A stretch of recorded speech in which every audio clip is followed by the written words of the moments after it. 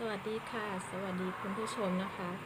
วันนี้อุจังพามาดูจมูกนะคะ จมูกใหม่นะคะ จมูกอันใหม่เลย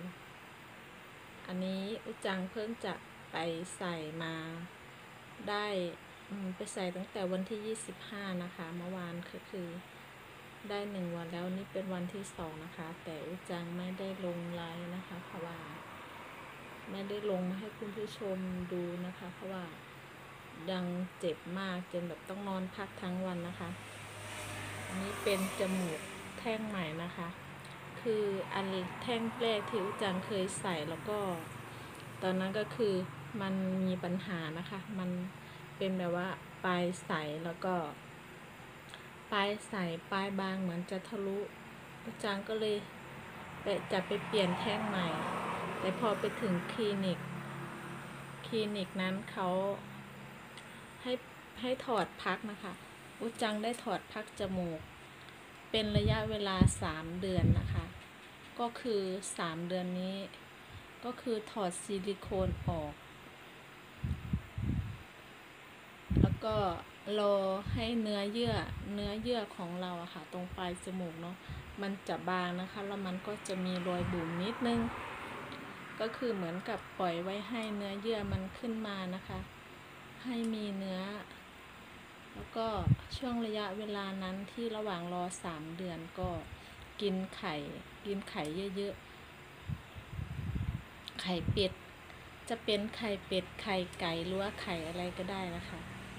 ก็เมื่อวานก็ได้ไปทำที่คลินิกแห่งใหม่นะคะอ่าเป็นคลินิกของ เป็นคลินิก ชื่อ DSC นะคะ อยู่โคราชนะคะ คลินิกนี้ ก็เห็นคนไปทำเยอะนะคะ จางก็ดูรีวิวแล้วก็โอเคก็เลยตัดสินใจนะคะให้ดูข้างๆ เขาก็แนะนำดีนะคะ แล้วก็ ก็คือจางคิดว่าสวยนะคะ น่าจะสวยกว่าอันแรกทรงแรก ตอนนั้นจังไปทำที่คลินิกอีกอันนึงนะคะ ตอนแกนี่อุจังก็มาทำอีกคลินิกหนึ่งระหว่างที่นอนนะคะอุจังก็จะนอนหัวสูงตลอด ก็จะมีค่ะที่นอนอันนี้นะคะ ที่นอนอันนี้แล้วก็จะมีหมอนนะคะ มีหมอนอันนี้ตัวหนึงมีหมอนแบบนี้นะคะจะก็จะจะคล้องคอไว้นะคะคล้องคอตลอดเลย นอนก็คือจะนอนหน้าตรงนะคะ จะนอนหน้าตรงตลอด ห้ามตะแคงนะคะ ไม่ไม่ไม่ให้ตะแคงซ้ายตะแคงขวาแล้วก็กินอาหารนี่ก็กินได้แต่หมูนะคะ จะเป็นอาหารรสจัดหรือว่าเป็นของทะเลไม่ได้นะคะคุณหมอห้ามกินค่ะจังก็จะนอนท่านี้นะคะ นอนท่านี้นะคะ ทั้งวันนะคะ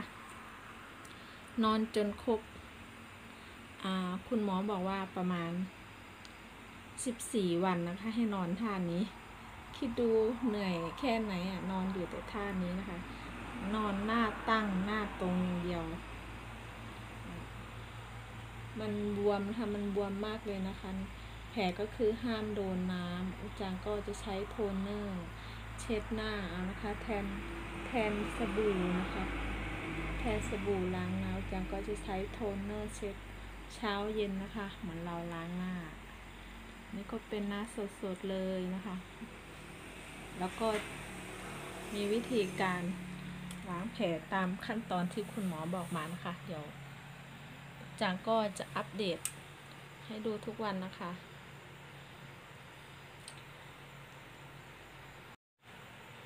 อันนี้ไม่รู้ว่าเรียกทรงอะไรนะคะ ก็คือ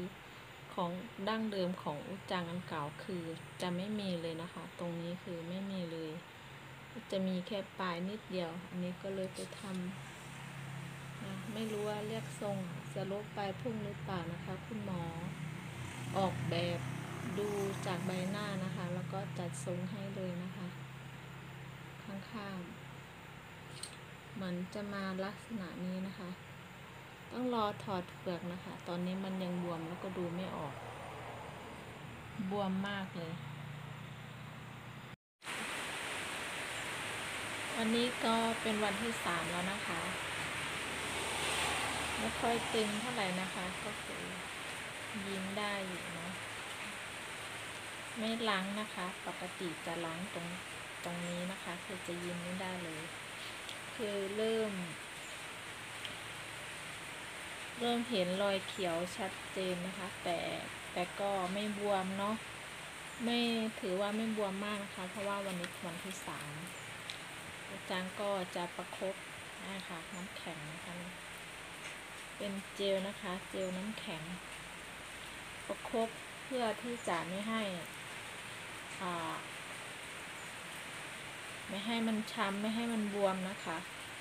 คือให้เลือดมันไหลเวียนนะคะ ไม่ให้มันมีอาการบวมแล้วก็ปวดก็ประคบแบบนี้ไปเรื่อยๆ จนกว่าความเย็นตรงนี้มันจะหมด ก็คือพักนะคะพอ นอนพักแล้วก็หรือเราจะไปทำกิจกรรมหรือว่าทำอะไรก็ได้นะคะ